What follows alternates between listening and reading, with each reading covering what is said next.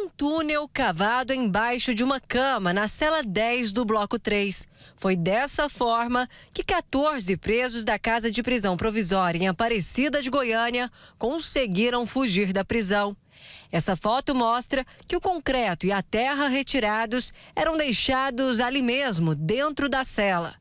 A fuga foi por volta da meia-noite desta quarta-feira. Enquanto os presos fugiam ali pelo túnel, policiais militares que estavam de guarda perceberam a movimentação estranha e então atiraram algumas vezes. A informação passada é que ninguém ficou ferido. 14 homens conseguiram fugir, só que um deles foi recapturado pouco tempo depois. Outros cinco, que ainda estavam dentro do túnel para escapar, perceberam ali os disparos e recuaram.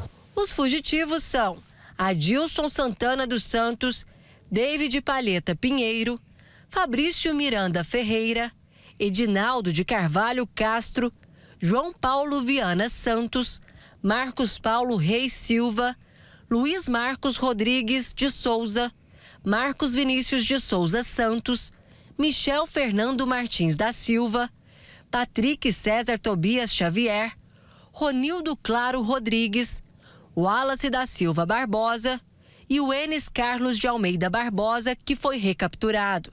Logo depois da fuga, o Grupo de Operações Penitenciárias Especiais fez a vistoria da cela e encontrou o túnel. Hoje, pela manhã, houve movimentação de viaturas no lugar. Segundo a Diretoria Geral de Administração Penitenciária, policiais militares estão fazendo buscas para encontrar os fugitivos e disse que o caso vai ser investigado pela Polícia Civil.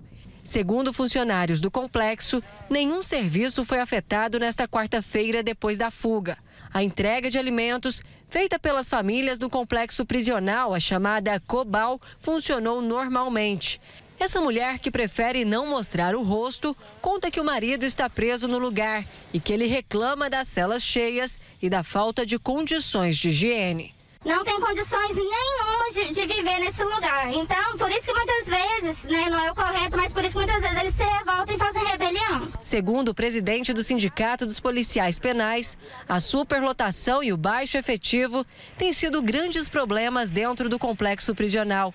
Ele conta que a CPP, onde houve a fuga, tem capacidade máxima para 800 detentos, mas hoje está com cerca de 3 mil. Deveria ter 60 policiais penais, é o que recomenda o DEPEN, um policial penal a cada cinco presos, e lá tinha apenas quatro policiais no plantão. Maxwell diz ainda que hoje são cerca de 1.450 policiais penais e 1.900 vigilantes temporários em todo o estado e que o número ideal só de policiais penais para suprir o sistema prisional hoje é de pelo menos 3 mil homens. O governador Ronaldo Caiado está fazendo concurso público para 500 vagas, está em andamento, mas terminando, finalizando esse concurso, o sindicato vai lutar para que abra outro concurso e aumente o efetivo dos policiais penais, porque o déficit hoje é muito grande.